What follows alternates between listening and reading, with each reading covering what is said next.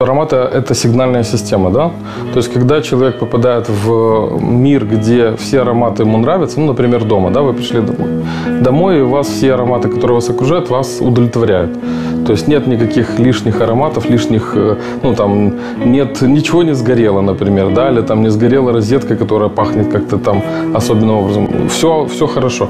Ровно через 5-7 минут вы не слышите ароматы, которые вас окружают в доме. Вы сейчас уже здесь, находясь в магазине, где очень много духов, где очень много распыляется всего, уже, ну, я так больше чем уверен, что вы ощущаете этот мир как чистый воздух. Если касается духов, то а, аромат, который вам подходит, вы в нем себя должны чувствовать уверенно, и он дает вам уверенность, собственно говоря. Это и есть его основная задача. Любой аромат вам должен передавать уверенность, если вы его надеваете на себя. Первое, что надо делать, когда вы выбираете аромат, вообще в любой аромат, вы должны, э, первое, не слушать э, подруг, вы не должны слушать продавцов-консультантов э, в, полном, в полной мере. То есть они не должны на вас влиять. Они могут вам рекомендовать что-то из той серии, которую вы хотите. Ну, например, если вы пришли за свежим ароматом, а, вам продавец-консультант должен ну, скажем так, преподнести несколько или там дать несколько каких-то вариантов ароматов свежего направления, образно говоря. И вы должны сами уже выбирать из этого э, перечня то, что вам подходит ближе всего непосредственно вам. Вы не должны слышать слова «это очень модно», «это очень там востребовано», «это пользуется». То есть все это не имеет никакого значения в момент, когда вы выбираете аромат для себя, для своей души. Знаете, как бывает? Люди приходят, покупают модный аромат, классный, качественный, там супер, все им пользуются.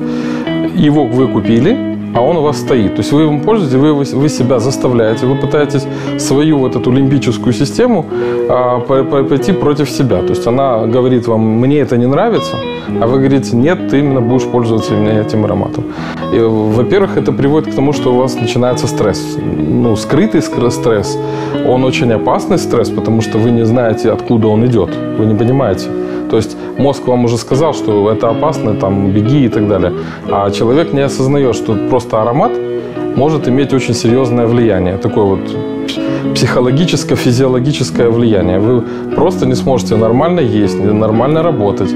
А ароматы, если они вам не подходят, они вам запрещают делать абсолютно все. У организма первая и главная задача – это убежать из того места, где вам опасно.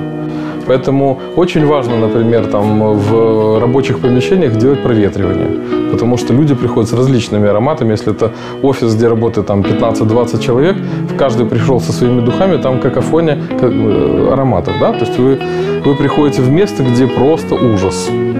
И вы, э, ваша работоспособность резко снижается.